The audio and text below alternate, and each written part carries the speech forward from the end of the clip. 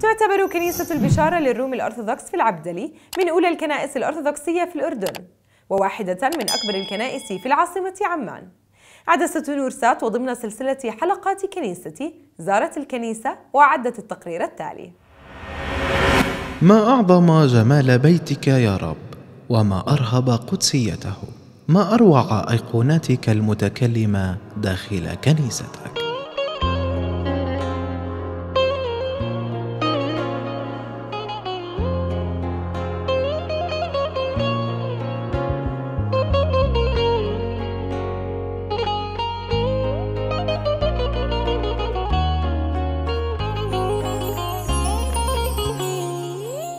أوصانا داود النبي وقال هلموا لبيت الرب نذهب. فيه الراحة والسكينة وفيه فلك نجاة للخطى.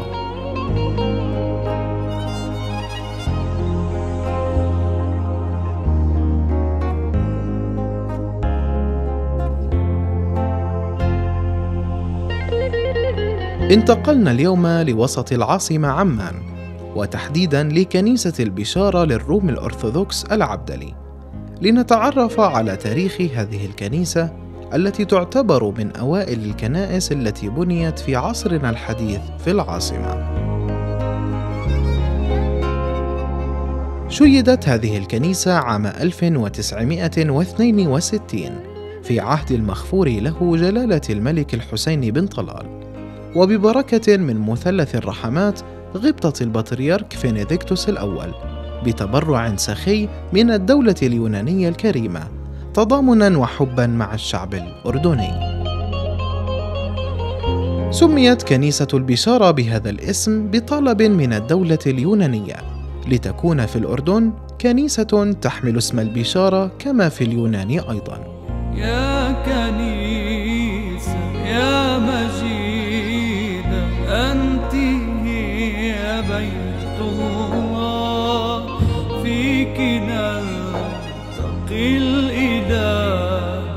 ونستمد منه الحياة.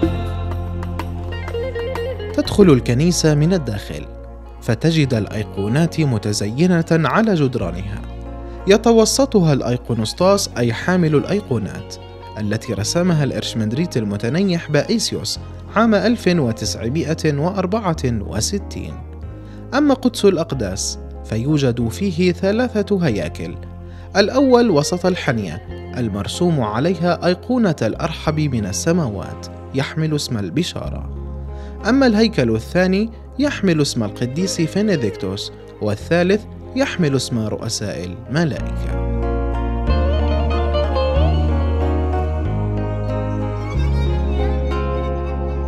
خدم الكنيسة العديد من الكهنة الأفاضل.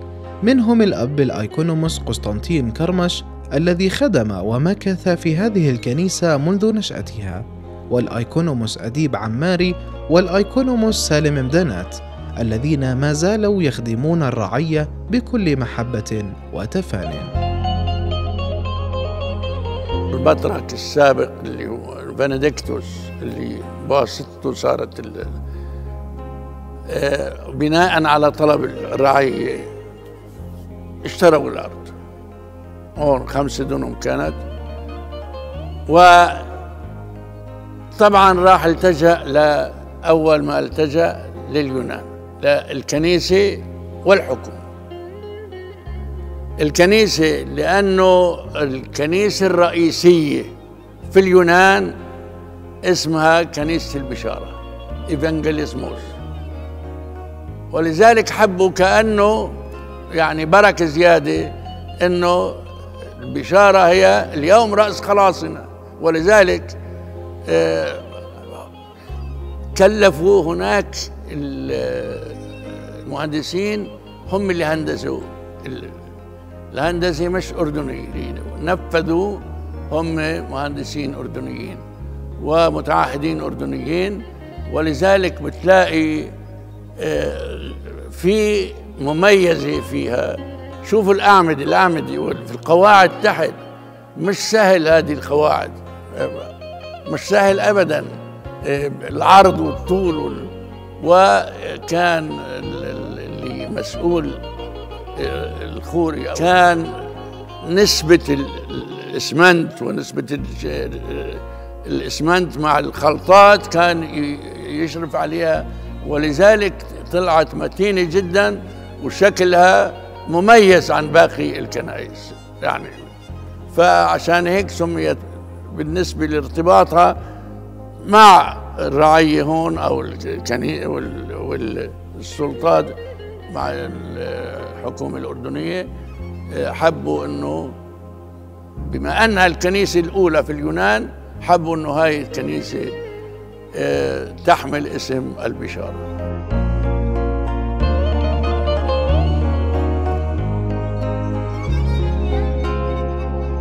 الاحتفالات كلها كانت تكون في هذه الكنيسة وطبعا كان التلفزيونات تيجي تاخذ وينزاع من هون ويتصور من هون.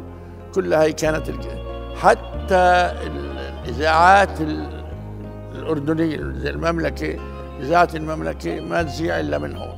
ولهلا حتى التلفون مربوط مباشر مع الإذاعة. فيك نعرف الوصايا ونعشق الصلاة.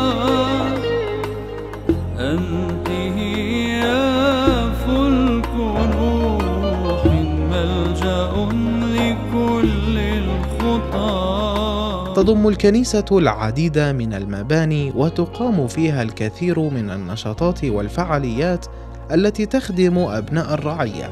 حدثنا عنها بإسهاب الأيكونوموس سالم مدانات فقال. الرعية هون ليست فقط من منطقة العبدة أو الويبدة حتى من مناطق أخرى من مناطق مختلفة بيجوا لكنيسة العبدلة لأنها لها الطابع آه، إما تعمدوا فيها أو تكللوا فيها هم وأولادهم ولغاية الآن مع أنه بكون في منطقتهم في كنائس ولكن مواظبين على القداديس وحضور المراسيم في كنيسة في كاتدرائية البشارة.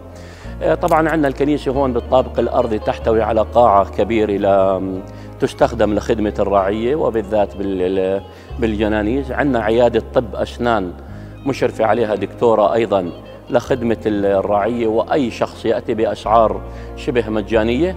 وعندنا أيضا آه، المحكمة الكنائسية أيضا تستضيفها كنيسة ال- البشارة في في في آه، بالطابق الأرضي عندنا المحكمة.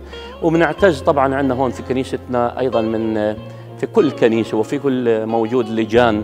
عندنا لجنة الكنيسة وعندنا لجنة آه، سيدات كنيسة البشارة اللي لهم الفضل بخدمة كثير من أولاد الرعية آه، سواء ما يقدموا من ضيافة أو خدمة آه، كبيرة بنقدمها لعدد آه، حسب إمكانياتنا. عائلات محتاجة عائلات وطلاب آه، في بعض المدارس بتقوم لجنة السيدات بدعمهم ماديا وفي الأعياد أيضا بنقدم المساعدات المادية والعينية للعديد من الأسر المحتاجة.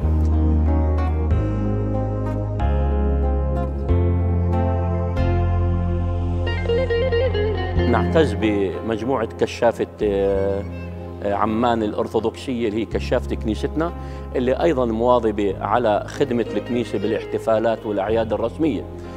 آه، كاتدرائية البشارة طبعا من ال- ال- ال- الكنائس القديمة بالأردن والحمد لله الرعية آه، داعمة للكنيسة قمنا بالعديد من الأعمال داخل الكنيسة من زخرفة من أيقونات مقدسة من طاقة شمسية من قرميد داخل الكنيسة كله في مجهود أبناء الرعية ال- ال- ال- الخيرين. بك تجددت حياتنا وولدنا من جديد. في بيتك يا رب نسجد وللاهوتك الواحد نعبد. فبارك محبي اسمك القدوس وعوض كل من تعب وسهر وكد.